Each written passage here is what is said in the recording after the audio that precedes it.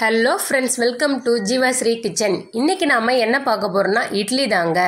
Idli recipe தான் பார்க்க போகிறோம் என்னடா இட்லி ரெசிபி எல்லாருக்குமே தெரியும்னு நினைப்பீங்க?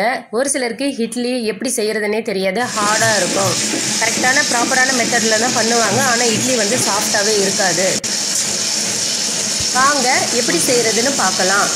நான் ஸ்க்ரீனில் ஒரு மெஷரிங் கப்பு காட்டியிருப்பேன். உங்கள் வீட்டில் என்ன மாதிரியான கப்பு டம்ளரோ இல்லை எதுவோ அதுலேருந்து நீங்கள் அளவு எடுத்துக்கோங்க. மூணு இஸ்டு ஒன்று மூணு கப்பு இட்லி அரிசி ஒரு கப்பு உளுந்து. நான் ரெ- இட்லி அரிசியை இரண்டு மணி நேரம் ஊற வச்சு எடுத்து அரைச்சி வச்சுருக்கேன். ஒரே ஒரு மெயின் டிப்பு என்னென்னா இட்லி மாவு அரைக்கிறதுக்கு உளுந்து இருபது நிமிஷம்தான். அட்லீஸ்ட் இல்லைன்னா ஒரு ஆஃப் அன் ஹவர் நீங்கள் ஊற வச்சுக்கோங்க. தண்ணியை தெளித்து தெளித்து அரைச்சி எடுத்துக்கோங்க. இட்லி மா உளுந்தில் வந்து என்ன பண்ணுறாங்க? நிறைய பேர் வந்து தண்ணி ஒரேடியாக ஊற்றுறாங்க அப்படி ஊற்றக்கூடாது தெளித்து தெளித்து அரைச்சி எடுத்துக்கோங்க.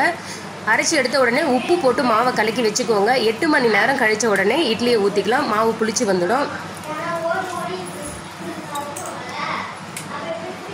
இட்லி பேனை தண்ணி சூடாறின உடனே இட்லியை வந்து ஊற்றி வச்சுடுங்க. பிளேட்டில் இல்லை நீங்கள் துணி வேணுனாலும் போட்டுக்கோங்க. இல்லை ஆயில் வேணாலும் தடவி இட்லியை வந்து ஊற்றிக்கோங்க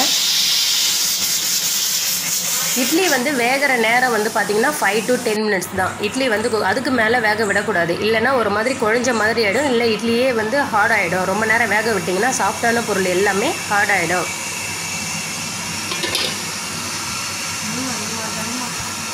இப்போ நீங்கள் பார்த்துருப்பீங்க இட்லி பேனில் எப்படி இட்லி ஊற்றி வச்சுருக்கேன்னு. இந்த மாதிரி மீடியம் ஃப்ளேமில் இட்லி வந்து வேகணும். ஒரு டென் மினிட்ஸ் குக் ஆனால் போதும்.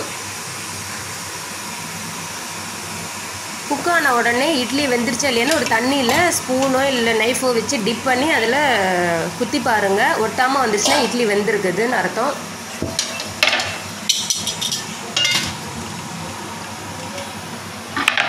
இந்த மாதிரி எப்பயுமே நீங்கள் இட்லியை செஞ்சு பாருங்கள் உங்களுக்கு சாஃப்டாகவே இருக்கும். அன்றைக்கி ஒரு நாள் ஃபுல்லாகவே சாஃப்டாகவே இருக்கும். இட்லி வெந்த உடனே நான் காமிக்கிறேன் எப்படி இருக்குன்னு பாருங்கள் நான் வெந்த உடனே ஒரு நைஃப் வச்சு தான் எடுத்து காட்டுறேன். எப்படி இருக்குன்னு பாருங்கள் நீங்கள் எப்பவுமே இட்லியை சூடு ஆறின உடனே எடுங்க. சூடு ஆறாமல் எடுத்திங்கன்னா இட்லி ஒட்டிக்கிட்டு வரும். இந்த மாதிரி நீங்கள் செஞ்சு சாப்பிட்டிங்கன்னா இட்லி சாப்பிட்ற ஒரு ஃபீல் நல்லாவே இருக்கும். அடிக்கடி செஞ்சு சாப்பிடுவீங்க.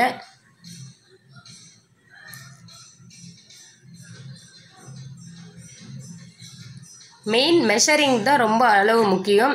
உளுந்து. உளுந்து வந்து நீங்கள் தண்ணியை விட்டு விட்டு அரைச்சிங்கன்னா இட்லி வந்து ரொம்ப சாஃப்டாக இருக்கும். தெளித்து தெளித்து அரைக்கும் போது அதோடைய தன்மை வந்து அதாவது சாஃப்டாக பஃப்னு வர்றது நல்லாவே எடுத்து கொடுக்கும். இட்லிக்கு வந்து நல்ல ஒரு மெயினான ஒரு டிப்பு இதுதான். உளுந்து தான் நமக்கு மெயின் வந்து. உங்களுக்கு இந்த வீடியோ பிடிச்சிருந்தா லைக் பண்ணுங்க ஷேர் பண்ணுங்க கமெண்ட் பண்ணுங்க பண்ணுங்க சப்ஸ்கிரைப் பண்ணுங்க. மறக்காம கீழே உள்ள பெல் பட்டனை கிளிக் பண்ணுங்க. அது வரைக்கும்